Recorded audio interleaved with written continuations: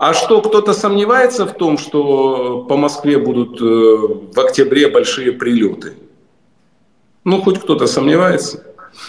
А что в октябре меня спросят? А того, что 5 ноября выборы в США. Что, не понимаете чего? Того, что войну пора заканчивать. А если бьешь по какому-то другому городу, меньше доходит. А доходит знаете когда? Когда по столице. По столице. Не по мирным жителям, хочу сказать, не по мирным москвичам. Нет, мы не варвары. По военным объектам, по центрам принятия решений. Так доходит очень быстро. Пока на Патриарших прудах в Москве гуляют светские львицы и великосветские львы, пока работают рестораны, и там еще можно заказать устрицы и пармезан, войны нет. Для Москвы войны нет. Но когда Москва окажется без света, как Киев, без тепла, вот тогда и все закончится на этом. Кто-то этого не понимает? Хочу спросить. Это очень простые вещи. Сейчас мне скажут, ну ты выдаешь планы. Так это даже не планы, это э, естественное течение событий. Это тут не надо даже быть э, каким-то э, человеком, который заканчивал Вестпойнт или военную академию Генштаба вооруженных сил Украины. Это же все понятные вещи.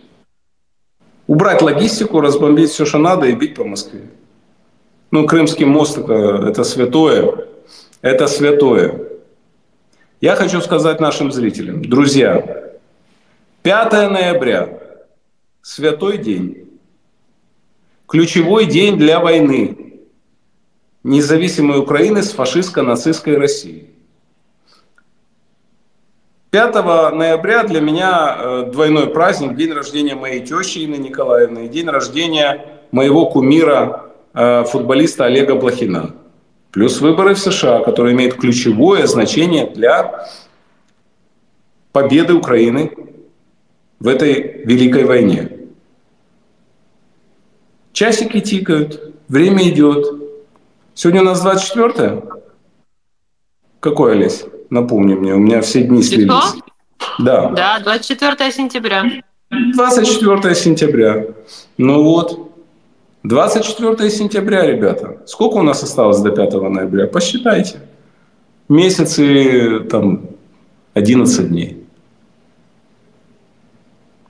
Все самое интересное впереди.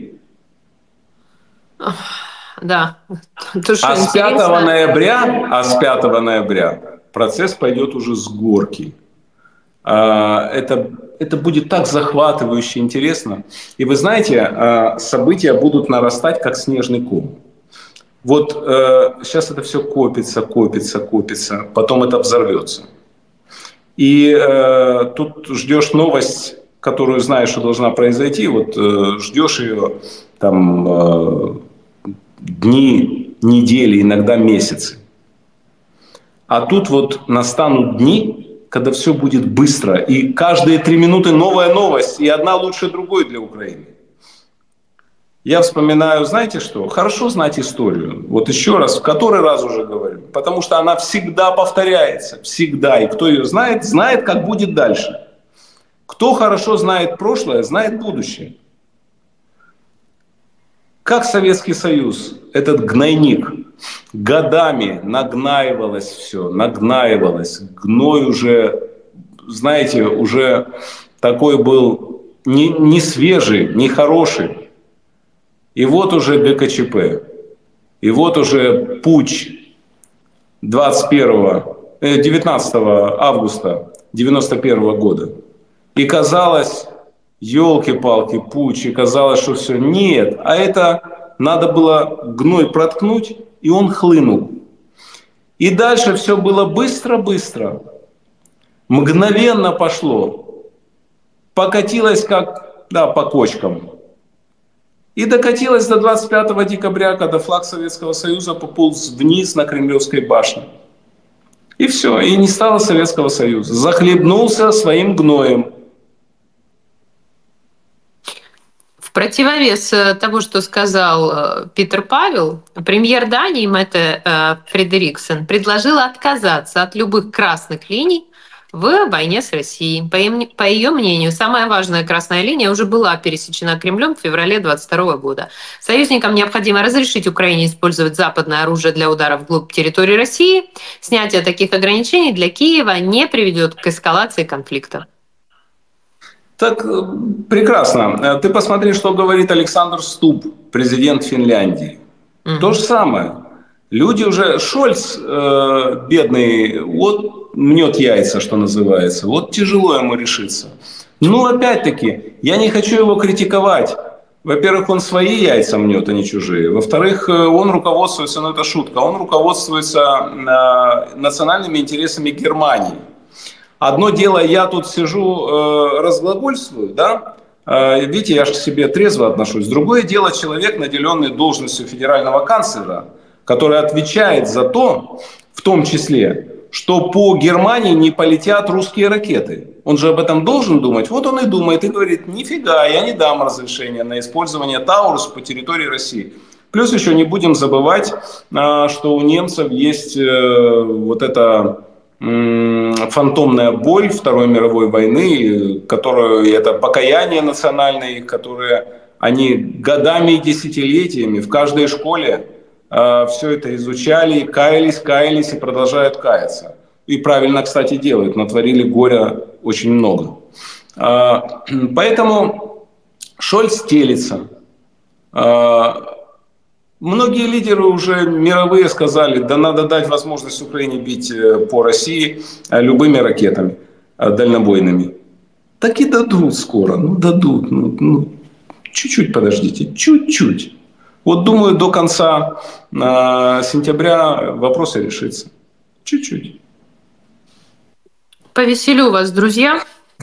Значит, бывший замглавы администрации Путина Владислав Сурков – появился на горизонте, 60 лет ему исполнилось, и он написал стихотворение. Вы же помните, наверное, что он с претензией на писательский талант опубликовал это стихотворение журналист Андрей Колесников. Я прямо вам зачитаю это стихотворение, потому что, наверное, вы это не видели. Я хочу, чтобы вы это услышали. А, здесь в наше время, где так жестко схлестнулись хищные века, прошел я галсом кое-как свой путь от трудного подростка до непростого старика. Я жил в чем был, как по тревоге, из мрака поднятый мертвец. С просонья прямо на метель, стремясь на полотне эпохи попасть в расфокус или в тень. Века 20 с 21 сплелись в борьбе «А мне-то что?», я вырос в некто из никто, иду себе легко одетый, как в саван, в белое пальто. Дима, что ты думаешь, когда ты слышишь это его стихотворение? Да это гений наших дней. Это Пушкин, новый Пушкин. А, это я пошутил, конечно. А, Сурков – это один из идеологов русского мира, а, один из идеологов войны России с Украиной один из э, этих псевдоинтеллектуалов, э, а на самом деле типичный шизофреник, просто шизик. А многие шизики умеют преподать свою шизофрению как откровение, как высокий интеллект, высокий лоб, а, умение формулировать загадочно какие-то такие вещи, облекать их в какую-то такую форму – и люди смотрят и думают, какой гигант. Не добраться даже под, до подошв его. Какой мощный ум. А на самом деле это идиоты. И Сурков идиот. Еще и психически больной человек, больной на голову. Но такие стихи может написать только больной на голову идиот. И эти люди под руководством Путина, между прочим, годами выстраивали стратегию порабощения Украины. И эти люди рассказывали всему миру про особый русский путь. Знаешь, кстати, что такое особый русский путь? Это путь ночью, когда ни единого фонаря. Из дома деревянного в деревянный ту туалет засранный, с очком таким, с навозными мухами. Это особый русский путь. Мало кто это понимал. Как писал Тютчев, умом Россию не понять, аршином общим не измерить. Конечно, такую навозную страну умом понять невозможно. Как, когда люди уже давно процветают и живут, они выживают. Как ты поймешь эту Россию? Конечно, умом не понять. Классик. Поэтому вот эти чуваки типа Суркова все время искали особый русский путь, сермяжную правду, скрепы. Что они еще искали? Ну, говно это все. Засирали мозги своим соотечественникам, которые и так с мозгами у них проблемы были много веков. А тут еще засрали конкретно. С помощью хитрожопых Соловьева, Скобеева и Попова. Те любят западные ценности. Те только рассказывают в стиле экранов про особый русский путь. А их путь на самом деле у этой пары Скобеева и Попова – это Америка, у Соловьева – Италия. Они все понимают. Они циничные твари просто. Ну вот и Сурков. Банальный шизофреник.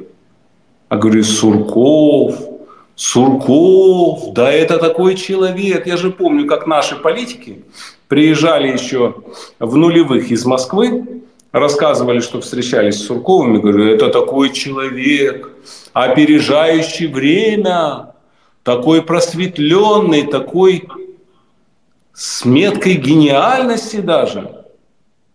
Ты такой же говнюк тупой, как они все. А, а Путин что, тупое говно тоже.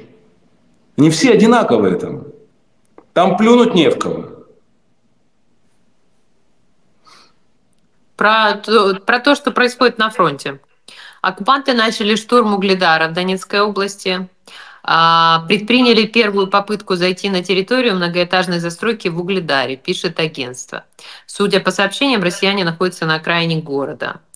С другой стороны, а, другое сообщение. Российские войска переходят к обороне к северу от Харькова, возможно, в результате вторжения Украины в Курскую область. Это пишет Институт изучения войны.